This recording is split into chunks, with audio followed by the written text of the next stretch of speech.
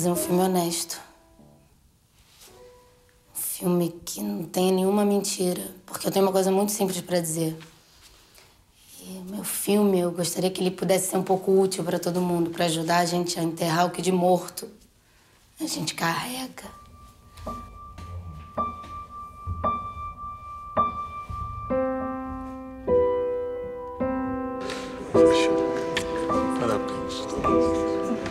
Fiquei emocionado.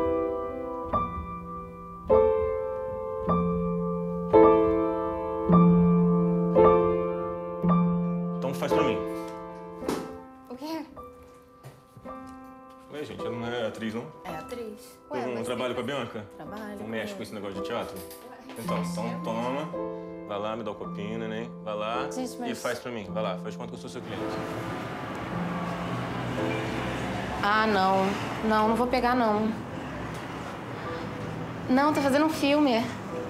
É. Quê? Não, não, tem personagem.